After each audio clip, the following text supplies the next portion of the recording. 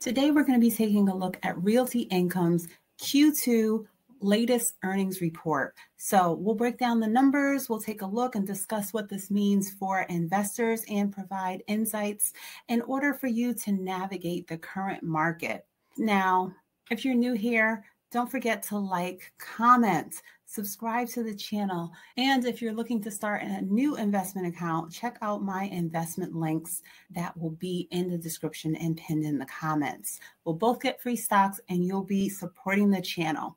So now let's start with a quick overview of what is Realty Income Corporation. They are known as the monthly dividend paying company. They are a real estate investment trust a REIT known for their reliable monthly dividends. They own over 1,100 properties, primarily leased to commercial tenants. We know and go to these places almost every day, like your local CVS or BJ's. So when it comes to revenue, they surpass expectations. Their revenue came in at 1.34 billion which exceeded the estimate of 1.31 billion. This increase in revenue was primarily driven by their higher rental income. One of the key insights of the report of the growth when it comes to retail revenue is that realty income continues to grow, which is a positive sign for investors. The company saw a significant increase in rental income from its diversified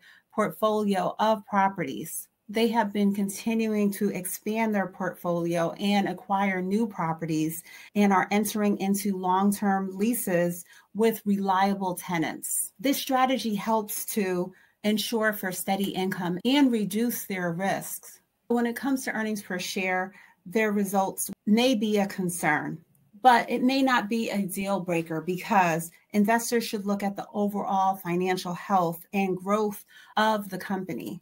They beat when it comes to revenue estimates, and that is a strong indicator of the company's ability to generate income. It shows that their properties are performing well and their tenants are able to pay consistently.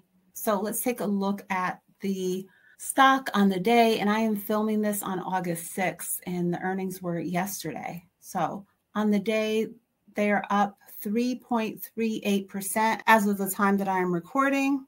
The stock market's reaction was mixed when the earnings report came out. Some investors focus on the earnings per share miss, while others are encouraged by the revenue beat. Realty income future looks promising with their continued expansion and steady rental income coming in. Investors should keep their eyes on any upcoming new acquisitions. So, as I said, on the day, we're up about 3.3%. Over the last week, we're up 4.96%. I currently hold 103.4 shares of realty income in my passive income portfolio. And I'm just staying focused on my long term goals and holding for now with confidence in the continued dividend payment from this company, as well as some stock price growth back to when it was in the high 60s. So, realty income has increased their monthly dividend by 1.6% to zero, 0.777 per share, making 107 consecutive quarterly increases when it comes to their dividend payment.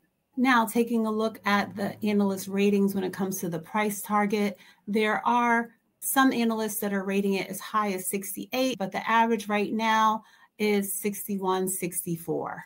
So that's it for today. Just a quick update on what is going on with Realty Income and the results of their Q2 2024 earnings. Make sure to give me a thumbs up on this video, like, subscribe to the channel if you're not already. Leave me a comment. Let me know your thoughts on Realty Income. Are you holding it in your portfolio? What are your thoughts on the dividends as well as the current stock price and future stock price for the company? And again, if you're ready to start on your investment journey, check out my referral links. They will be pinned in the description as well as in the comments. Thanks for watching. Okay, bye.